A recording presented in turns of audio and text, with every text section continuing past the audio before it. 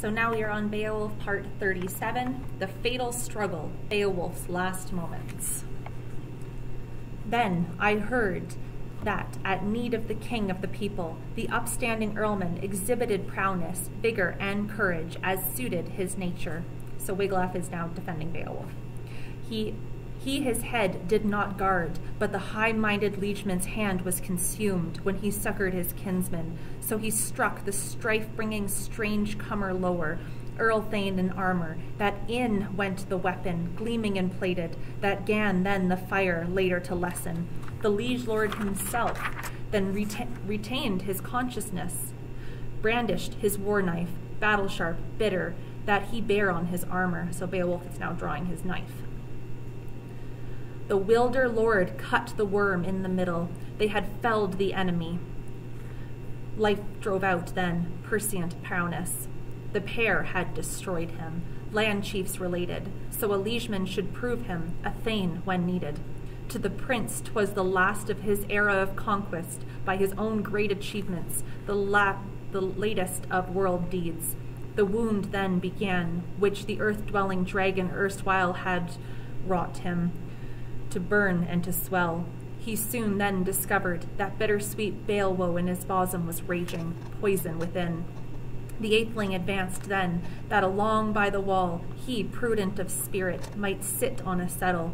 He saw the giant work, how arches of stone strengthened with pillars, the earth hall eternal inward supported.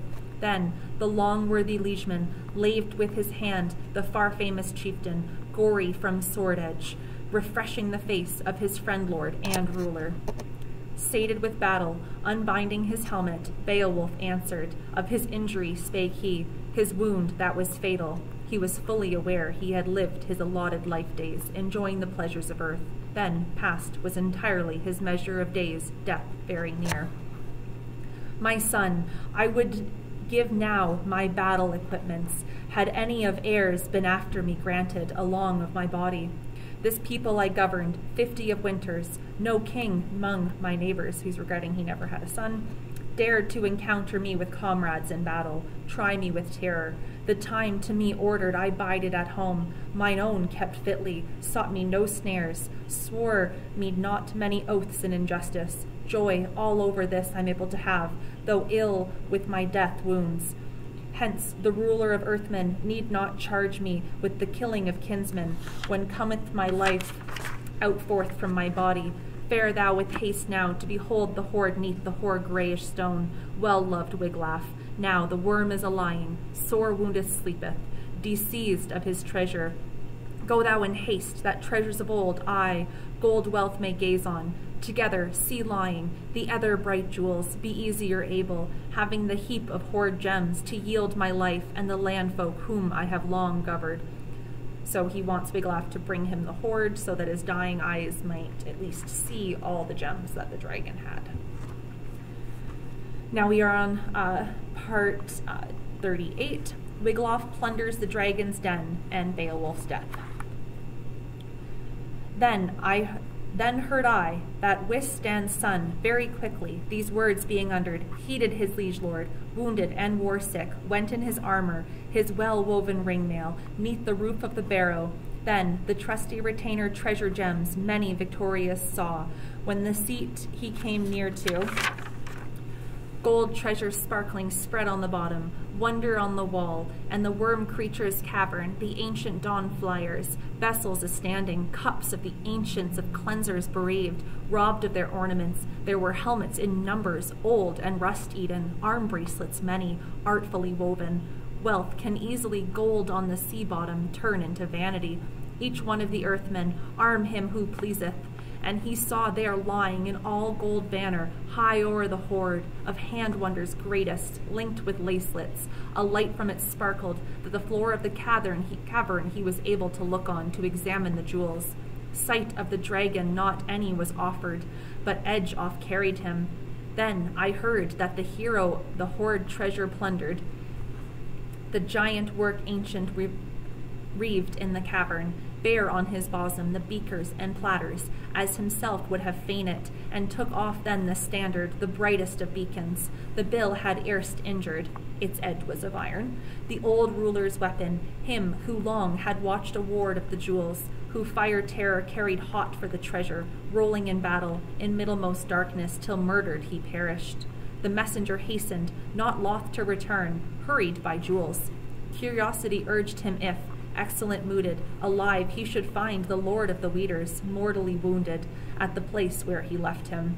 Mid the jewels he found then the famous old chieftain, his liege lord beloved, at his life's end gory. He thereupon gan to lave him with water, till the point of his word pierced his breast hoard. Beowulf spake, the gold gems he noticed, the old one in sorrow. For the jewels I look on, thanks do I utter for all to the ruler, wielder of worship, with words of devotion, the Lord everlasting, that he let me such treasures gain for my people ere death overtook me. Since I bartered the aged life to me granted for treasure of jewels, attend ye henceforward the wants of the war thanes. So he's really happy to see the jewels. He desires to be held in memory of people. No longer the battle famed bid ye to build then a grave hill, bright when I'm burned, at the brim's current's limit, as memory marked the men that I have governed. Aloft it shall tower on whales' nests uprising, that earls of the ocean hereafter may call it. Beowulf's barrow, those who barks ever dashing from a distance shall drive o'er the darkness of the waters. The bold mooded troop lord took from his neck then the ring that was golden, gave to his liegeman, the youthful war hero, his gold flashing helmet, his collar and war mail, and bade him well to enjoy them. Thou art latest left of the line of our kindred. Of Wægmunding people, weird hath off carried all of my kinsmen to the Creator's glory. Earls in their vigor, I shall after them fare. 'Twas the aged liege lord's last spoken word in his musings of spirit, ere he mounted the fire, the battle waves burning, from his bosom departed his soul to seek sainted one's glory. And now we are on part um, 39. There we go. uh, the dead foes, Wiglaf's bitter taunts. It had woefully chanced ye, the youthful retainer, to behold on earth the most ardent beloved at his life day's limit, lying there helpless. The slayer, too, lay there, of all life bereaved, horrible earth drake, harassed with sorrow. The round twisted monster was permitted no longer to govern the ring hordes, but edges of war swords mightily seized him, battle sharp, sturdy, leavings of hammers, that still from his wounds the flyer from Farland fell to the earth, hard by his hoard house, hopped he at midnight, not o'er through the air, nor exulting in jewels, suffered them to see him, but he sank then to earthward, through the hero chief's handwork. I heard it sure throve then, but few in the land of liegemen of valor, though every of every achievement bold he had proved him, to run gainst the breath of the venomous scather, or the hall of the treasure to trouble with hand blows. If he watching had found the ward of the hoard hall on the barrows abiding, Beowulf's part of the treasure of jewels was paid for with death. Each of the twain had attended to the end of life so unlasting.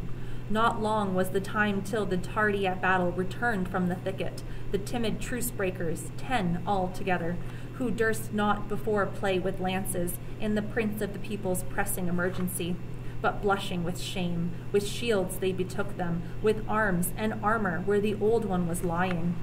So they're all really ashamed of their desertion.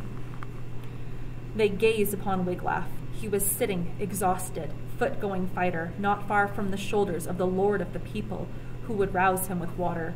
No whit did it help him, though he hoped for it cleanly.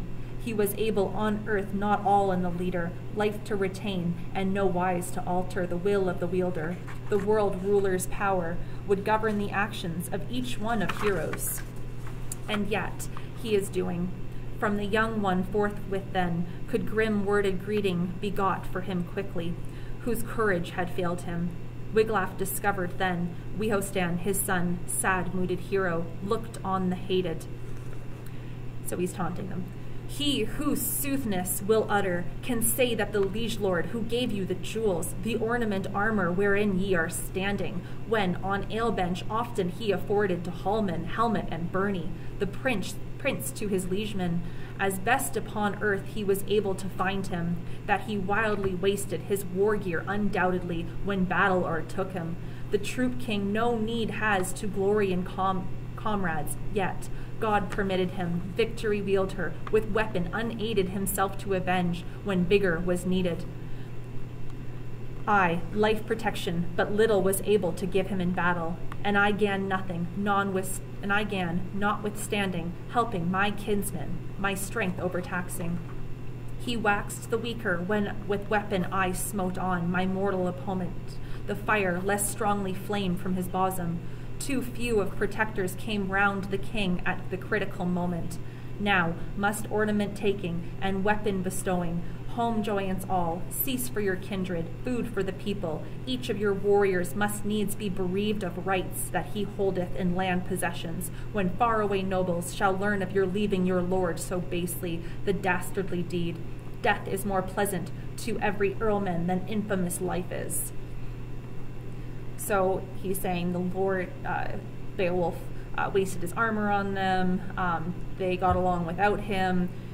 If he had had help from those, he probably could have saved his liege lord. So he probably could have saved Beowulf if the other ones hadn't abandoned him. And essentially, what is life without honor? All right, a little bit more to go and we're done.